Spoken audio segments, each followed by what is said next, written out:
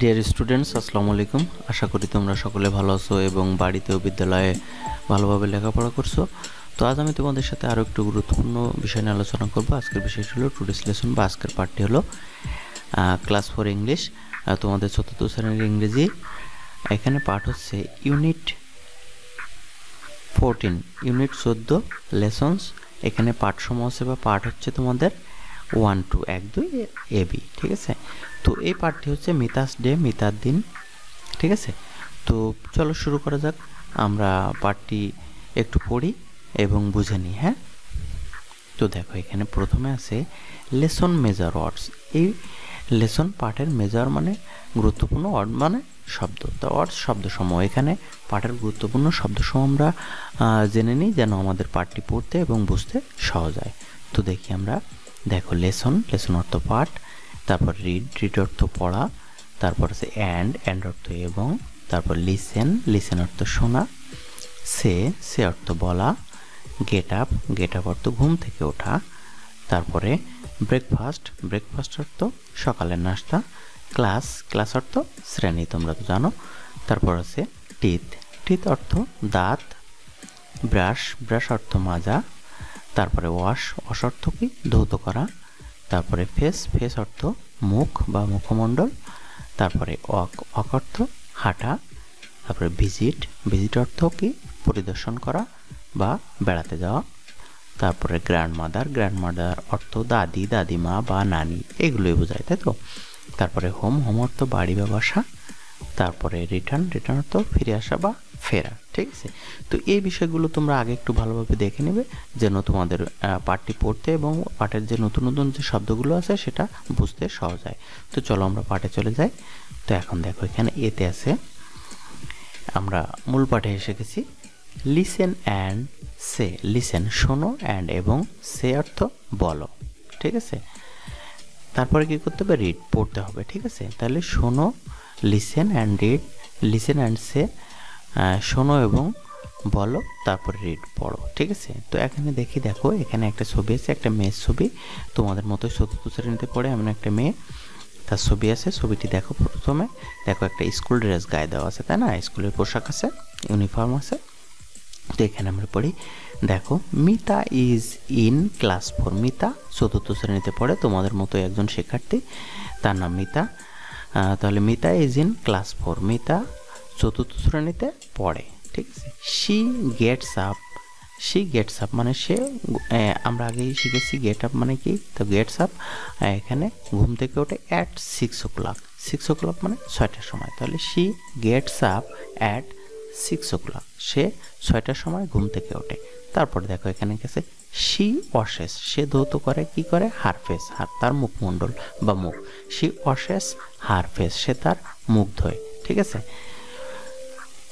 She has breakfast she কী করে? She has breakfast সকালে নাস্তা খায় অ্যাট সেভেন মানে সাতটার সময় ও ক্লক সাতটার সময়, তাই তো? She has breakfast at seven o'clock সে সাতটার সময় কী করে? তার মুখ এই সকালে নাস্তা করে, তাই না? তো তারপরে দেখো দেন তারপরে দেন অর্থ তারপর কি করে? শি ব্রাশেস হার টিথ তারপরে কি করে? নাস্তার পরে সে ব্রাশ মানে মাজা হার টিথ তার দাঁত মাজে কয়টায়? এই যে সাতটার পরে, তাই না? খাওয়ার পরে। দেন শি ব্রাশেস হার তারপর সে তার দাঁত মাজে। তারপরে কি আছে? শি গোস মানে সে যায় গো মানে যাওয়া শি গোস সে যায় টু স্কুল স্কুলে যায় at nine o'clock nine o'clock মানে নয়টার সময়। তাহলে she goes to school at nine o'clock সে নয়টার সময় স্কুলে যায়। তোমাদের মতোই সে নয়টার সময় স্কুলে যায়, তাই না? তারপর দেখো শি ওয়াক্স সে টু হার স্কুল। অক মানে হাঁটা, তাহলে শি ওয়াক্স সে হেঁটে যায়। টু হার স্কুল, সে তার স্কুলে হেঁটে যায়, তাই না?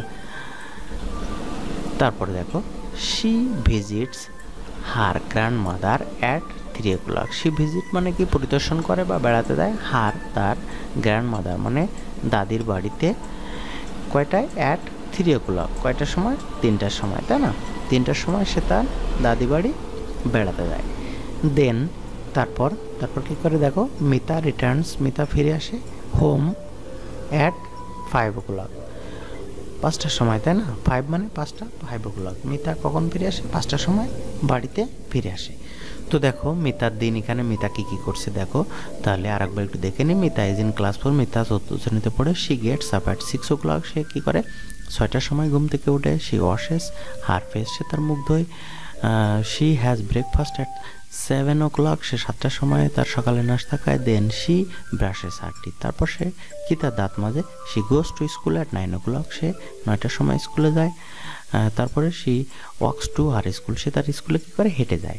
সে visits her grandmother at three o'clock সে তিনটার সময় তার দাদি বাড়িতে যায় বা দাদি বাড়ি বেড়াতে যায়, তাই না? দেন তারপরে Mita returns home at five o'clock তারপরে কী করে? মিতা পাঁচটার সময় বাড়িতে ফিরে আসে। এই হচ্ছে মিতা সারাদিন এই কাজগুলো করে, তাই না?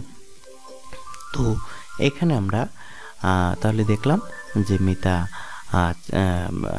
চতুর্থ শ্রেণীতে পড়ে, সে ছয়টার সময় ঘুম থেকে ওঠে, তারপরে সে মুখ ধোয় তারপরে তার নাস্তা খায় সাতটায়।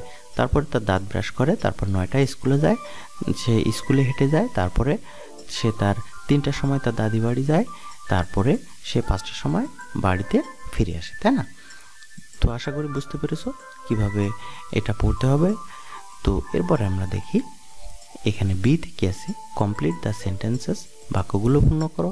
With the time in numbers time মানে সময় ইন নাম্বারস সংখ্যা নাম্বার মানে সংখ্যা। তো সংখ্যাবাচক সময় দিয়ে এগুলো, এই কমপ্লিট দ্য সেন্টেন্স কমপ্লিট মানে পূর্ণ করতে দ্য সেন্টেন্স বাক্যগুলো এই সংখ্যাবাচক সংখ্যাবাচক সময় দিয়ে পূর্ণ করতে হবে, তাই না? ইউজ এ এম ঠিক আছে? এখানে ব্যবহার করতে হবে কি? এ এম আর পিএম ঠিক আছে? এম এবং পিএম ব্যবহার করতে হবে, ঠিক আছে? তো এম কয়টা থেকে? যে আমরা সাধারণত বুঝি যে দুপুর বারোটা থেকে রাত বারোটা পর্যন্ত এম সরি পিএম আর তারপরে রাত বারোটা থেকে সকাল দুপুর বারোটা বারোটা পর্যন্ত পিএম তাই না? তো এম পিএম নিয়ে আরও আমরা বিস্তারিত এখানে আরও আলোচনা করব যাতে তোমাদের আর কখনো ভুল না হয়। তো দেখো, আমরা এখানে একটু দেখে নিই। Mita gets up at Mita ঘুম থেকে ওঠে। মিতা গেটস আপ মানে সকালে ঘুম থেকে ওঠে অ্যাট কয়টায়? আমরা ওখানে পড়েছি সিক্স এম তাই না? ছয়টার সময়। তারপরে শি হ্যাজ ব্রেকফাস্ট সে তার সকালে নাস্তা খায় অ্যাট কয়টায়? সাতটায় সেভেন এম তাই তো? তারপরে she goes to school at সে স্কুলে যায় কয়টায়? তাহলে তোমাদের মনে আছে নয়টায়, তাই না? তাহলে নাইন এম তারপরে she visits her grandmother at সে তার দাদি বাড়িতে যায় কখন? দেখো থ্রি পিএম তিনটার সময়, তাই না? তিনটার সময় যায়, তারপরে সে রিটার্ন হোম অ্যাট সে বাড়িতে ফিরে আসে কয়টায়? এই যে ফাইভ পিএম তাই না? পাঁচটার সময় সে বাড়িতে ফিরে আসে। তো এএম পিএম বিষয়টা তোমাদের আরেকটু পরিষ্কার করে দিই, দেখো। এখানে আমি দেখিয়ে দিচ্ছি। এখানে একটা নোট দিয়ে আলাদা। এএম কখন কোন সময় থেকে কোন সময় পর্যন্ত, দেখো। রাত বারোটা থেকে সকাল এগারোটা উনষাট মিনিট পর্যন্ত হয় এম যখনই তোমাদের এখানে এই যে বারোটা বেজে যাবে, উনষাটের জায়গায় বারো হয়ে যাবে, তখন পিএম হয়ে যাবে কিন্তু, ঠিক আছে? তো রাত বারোটা বাজার সাথে সাথে এবং এই যে দুপুর বারোটার আগ পর্যন্ত মানে এগারোটা উনষাট মিনিট পর্যন্ত হবে এম এই সময়টা যত কিছু ব্যবহার করো আমরা, সেটা হবে এম তো এখানে আমরা এম ব্যবহার করছি, দেখো six am seven am nine am তার মানে এটা সকাল ছিল সব। তারপরে দেখো পিএম কখন ব্যবহার করব? দুপুর বারোটা থেকে রাত এগারোটা উনষাট মিনিট পর্যন্ত। কারণ যেই বারোটা বেজে যাবে, সেই কিন্তু আবার এম হয়ে যাবে। তো দুপুর বারোটা যেই হবে, বারোটা থেকে এগারোটা উনষাট মিনিট পর্যন্ত, রাত এগারোটা উনষাট মিনিট পর্যন্ত এখানে আমরা পিএম ব্যবহার করব। ঠিক আছে? তো আশা করি আর তোমাদের কখনো এই ভুলটি হবে না যে এম এবং পিএম কখন ব্যবহার করতে হয়। ঠিক আছে? তো ঢের স্টুডেন্টস আশা করি বুঝতে পেরেছ। তো যদি ভিডিওটি ভালো লাগে, তাহলে অবশ্যই লাইক দিবে এবং শেয়ার করবে। আর যদি তোমরা আমার চ্যানেলে নতুন হয়ে থাকো, তাহলে এক্ষুনি চ্যানেলটি সাবস্ক্রাইব করে রাখো এবং পাশে থাকা বেল বাটনটি বাজিয়ে রাখো যেন পরবর্তী ভিডিওগুলো আসলে সহজেই পেয়ে যাও। তো আজকের মতো এখানে শেষ করছি।